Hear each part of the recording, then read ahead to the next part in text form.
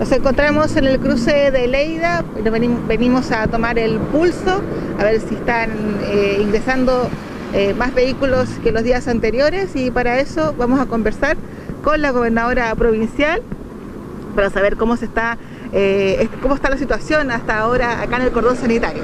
Bueno, muy buenas tardes. Podemos ver que hoy día tenemos, a pesar de estar en vísperas de fiestas patrias, tenemos un cordón mucho más tranquilo. Parece que el llamado a la ciudadanía a no eh, venir o a no seguir viniendo, porque hemos visto que a pesar de, todos los llamados, sobre todo en la zona norte de nuestra provincia, ha ingresado bastante gente, pero hoy día podemos tener la tranquilidad de que ha estado muy tranquilo, de que se están haciendo todas las eh, revisiones de permisos que corresponden y esperamos que esto siga así. La verdad que eh, hemos aumentado los puntos de fiscalización tanto eh, al ingreso de la, región, por eso hoy día tenemos una, aduana sanitaria también en la zona sur de Santo Domingo, además de los controles que se, que se aumentaron en Algarrobo y en Lagunilla. Así que esperamos de verdad que la gente haya entendido el mensaje, que para fiestas patrias no se puede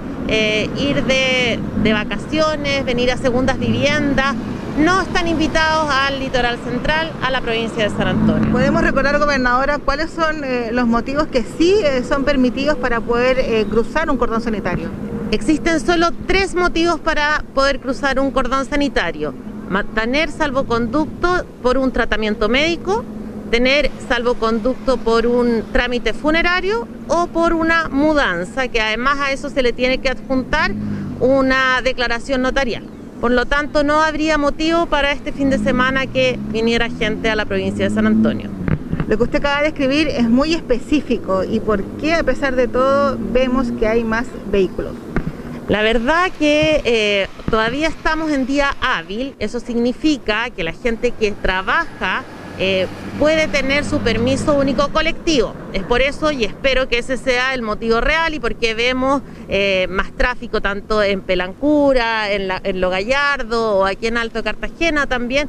Siempre vemos filas muy largas porque aparte de esos tres salvoconductos, aquellos funcionarios que están trabajando ya sea en San Antonio o se tienen que mover de San Antonio a otro lado, con el permiso único colectivo también lo pueden realizar referente la situación del puente Lo Gallardo. Eh, ¿Qué nos puede comentar ahí? Bueno, la comunidad, la comuna de Santo Domingo, la población está un poco molesta, de hecho ha hecho protestas. Sí, sabemos que no es fácil, llevamos muchos meses además con el cordón, un cordón que lo que viene es a proteger la salud de eh, todos quienes no viven en la comuna de San Antonio. Sí, es muy, es muy eh, difícil de explicar porque uno cree que el cordón lo que hace es proteger a San Antonio y lo que hace es justamente lo contrario, que el resto de las comunas no vayan a San Antonio para que no tengan posibilidades de contagio. De todas maneras, eh, a solicitud del alcalde hemos conversado con la subsecretaria Catherine Martorell y espera, le contamos esta situación que era complejo, que dejaba una comuna totalmente aislada, que no tenía dónde hacer todos los trámites básicos, o sea, si la persona que no tiene eh, salvoconducto o este permiso para trabajar no puede ir a San Antonio donde compra, donde hace todos sus trámites de, oficinas de, eh, básicas finalmente. Y eh, se comprometió a que si los números bajaban, lo primero que iban a hacer era que este cordón se transformara en aduana sanitaria.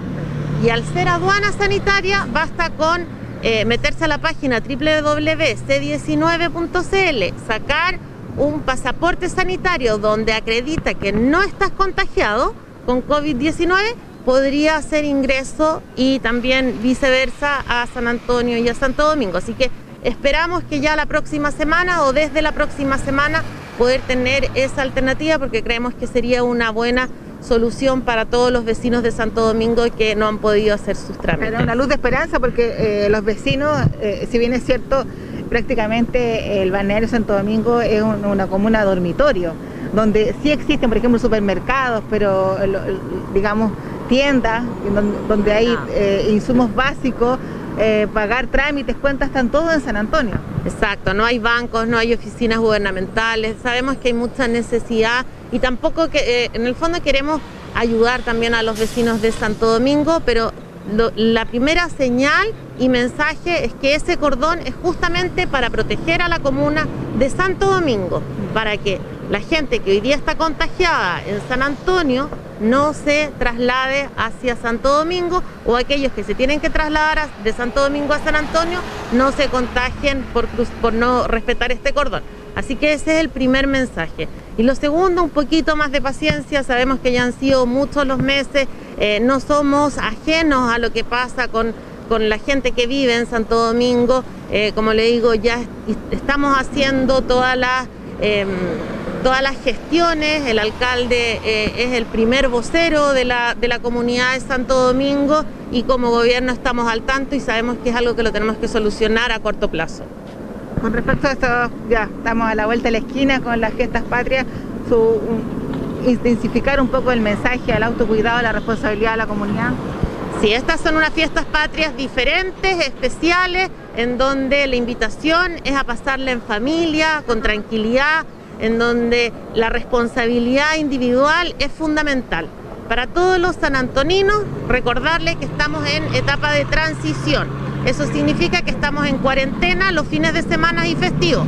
Por lo tanto, si va a querer pasar eh, las fiestas patrias, no sé, invitar a, una familia, a su familia o ir a visitar a algún familiar o algún amigo, necesita sacar un permiso en la comisaría virtual un, un permiso por los tres días, así que tiene que planificarse bien, y eh, con un máximo de cinco personas aparte del núcleo familiar. Así que si va a recibir gente, solo pueden ser cinco como máximo. Quizás también aclarar un poco esto de espacio libre público, netamente es público. No es que yo tenga una parcela y puedo recibir cinco al interior y diez afuera, serían 15 en total.